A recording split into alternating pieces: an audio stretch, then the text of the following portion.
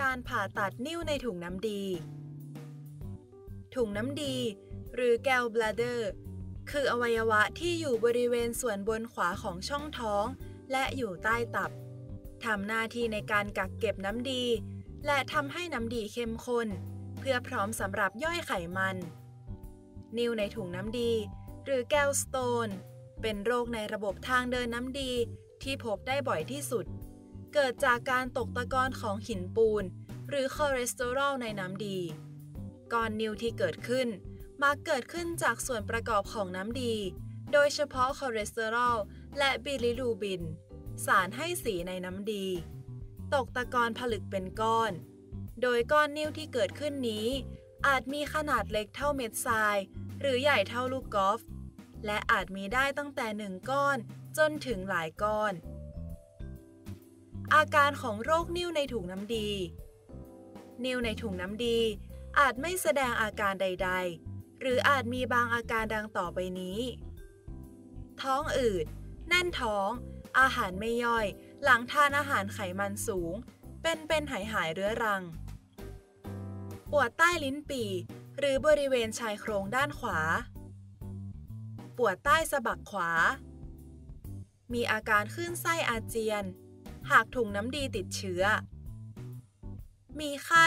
หนาวสั่น และเมื่อก้อนนิ้วอุดตันในท่อน้ำดี ส่งผลให้เกิดอาการ ดีซ่าน ตัวเหลือง ตาเหลือง ปัสสาวะสีเข้ม หากก้อนนิ้วมีขนาดใหญ่ อาจเป็นปัจจัยเสี่ยงให้เกิดมะเร็งถุงน้ำดีได้ ข้อบ่งชี้ในการผ่าตัด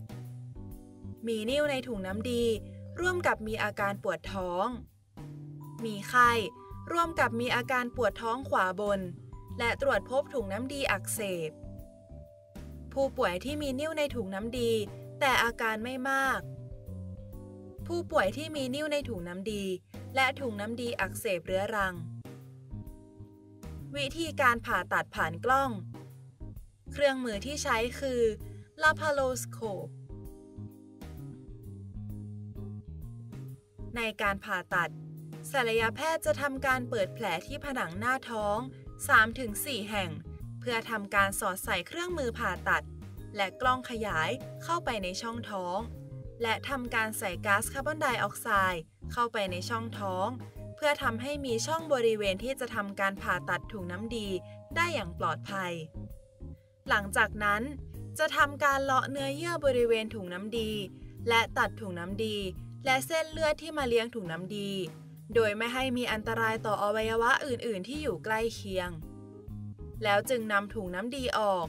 และทำการเย็บปิดแผลที่ทำการผ่าตัด ข้อดีของการผ่าตัดผ่านกล้อง แผลเล็ก